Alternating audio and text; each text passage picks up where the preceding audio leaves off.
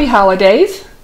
Many people are going home for the holidays, and what many of us experience when we do that is we get all lit up. We go back to the family, and the old family patterns kick in. And even though we've used our tools and we're on this spiritual journey, sometimes we go back home and it's not so comfortable. So no, it gets it gets awkward for a lot of people.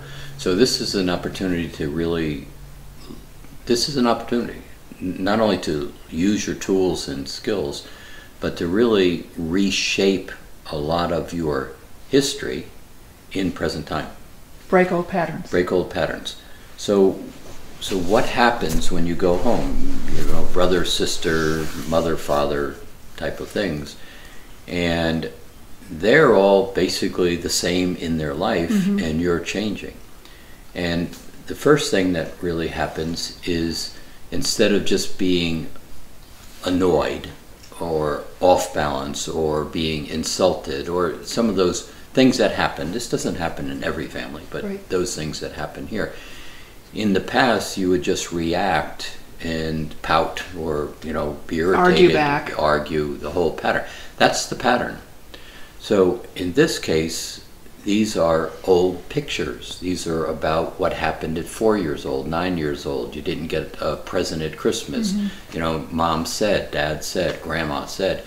So in this case, that's all baggage. And so here's the opportunity one, if you can stay in present time, and two, if you begin to recognize your tools. So literally, keep your rose up, stay on your side of that rose so that as you engage people, you're really talking to them, but you're much more paying attention to how you engage them. Mm-hmm. How am I doing? I'm talking, but here's what I'm noticing. You're also going to find that just by virtue of being in that engagement, these old pictures come up, these memories come up. So you've got a whole set of tools, fourth, fifth, sixth ray, eighth ray, you can begin to look at those. You've got a, a, a rose to put somebody in and just explode the rose to make separations from that.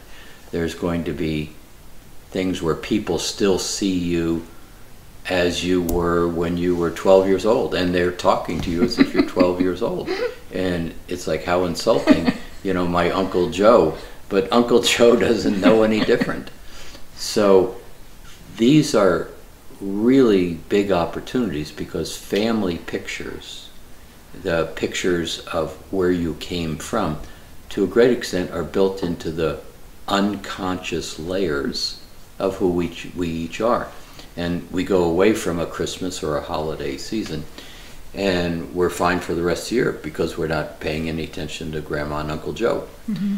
But here, you get a chance to take those rocks out of your backpack this is really, if you can go into these holidays from the standpoint of it being a, a desirable working situation, yes. and you stay conscious of, you have an intention, and your law of attraction, attention is on, I'm going to move through these next three days, and I, this is for me. And the and the intention isn't I'm going to move through these three days and I'm not going to get mad at anybody that's not how to phrase it. Yeah, correct. The phrase, the way to phrase it is, I'm going to move through these three days, and I'm going to have a great time. I'm going to be very amused and entertained. Amused is a big word here. You know, it's it's like when you watch people act out, rather than going into your irritation with them. Just it's like, really, you're going to do that again this year?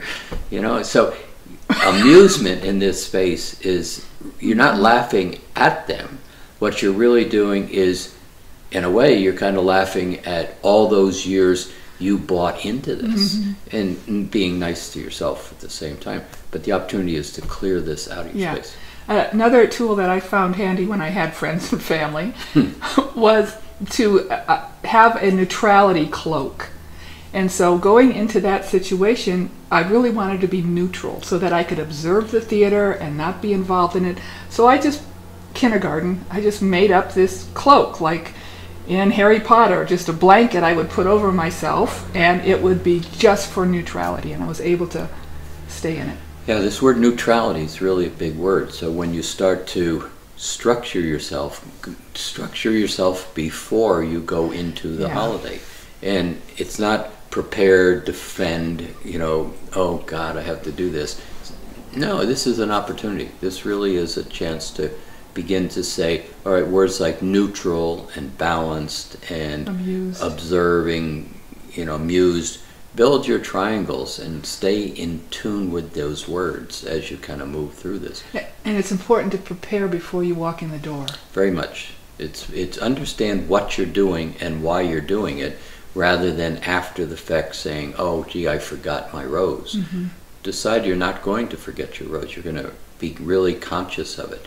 You know, another thing is when you get up in the morning before you walk into engaging, decide, all right, what am I doing today?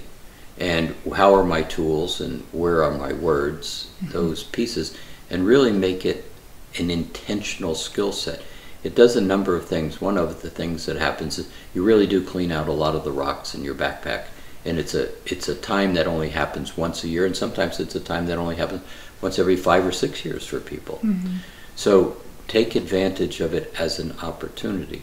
The other thing is when you clean out a lot of these patterns, these are the same patterns that create your personality in work, create your personality in relationship too. And so if you can basically move this energy and these pictures out of your space, you really begin to enter into your world in a very different manner going forward. Yeah, the holidays are rich, rich in opportunity to work on your own stuff, and it's almost like a, it's like the the final exam in school, it's, or it's a pop quiz, or it's Sure, like, okay, how am I going to get through? How am I going to manage? How am I going to get through this? Mm-hmm. but it lights up your pictures. Oh, yeah. I'll go back and say it again. And it's I'm annoyed. I don't really want to do this. I have to do this. It's family. All that is is all the history Yeah, coming up and speaking at that moment of resistance or resentments or irritations. Those are rocks in your backpack. And you may really be very irritated at the sister, fill in the blank, for the last 30 years because they did or they didn't. They may not even know they No. did or didn't and have no clue why you're such a jerk every time you get around them from their point of view. right. So treat it as an opportunity because it's a really very valuable experience. Yeah. Particularly going forward, one of the things about this season is all the baggage is coming up. You know, all these transitions we've been having and we're stepping into in 2017, 18, 19 are going to be challenging years. So if you can clean some of these annoyances, irritations, uh, resistances out of your space now, you're going to be able to enter into the coming years in a much cleaner place. So we wish you a amused, neutral, happy holiday. Exactly.